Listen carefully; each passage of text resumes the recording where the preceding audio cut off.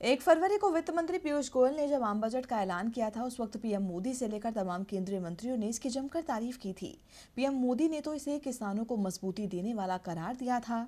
सरकार मान रही थी कि इस बजट के बाद वो किसानों को लुभा लेगी, लेकिन लगता है कि सरकार अपनी कोशिश में नाकामयाब रही है।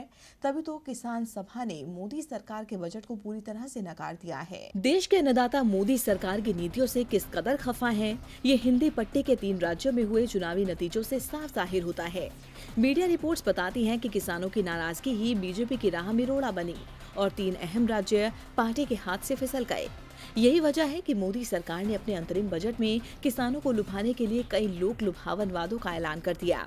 सरकार सोच रही थी कि इस बजट के ऐलान के बाद उसके अच्छे दिन ज़रूर आ जाएँगे, लेकिन किसान सभा ने मोदी सरकार के बजट को पूरी तरह से नकार दिया है।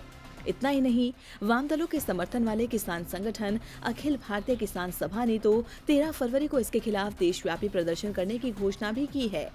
भारतीय कम्युनिस्ट पार्टी के वरिष्ठ नेता अतुल अंजान ने बताया कि अंतरिम बजट गाँव, किसान और गरीब विरोधी है। उन्होंने कहा कि मोदी सरकार दो सालों से किसानों की आय दोगुना करने का दावा कर रही है लेकिन बजट में प्रधानमंत्री किसान सम्मान निधि के नाम पर किसानों को प्रति माह पाँच सौ देने जैसी घोषणा निराश करने वाली है। उन्होंने किसान सम्मान निधि को छलावा करा दिया। साथ ही दावा किया कि सरकार कृषि क्षेत्र को मिल रही सब्सिडी को भविष्य में खत्म कर देगी, लेकिन हम ऐसा नहीं होने देंगे। डीबी लाइफ की रिपोर्ट।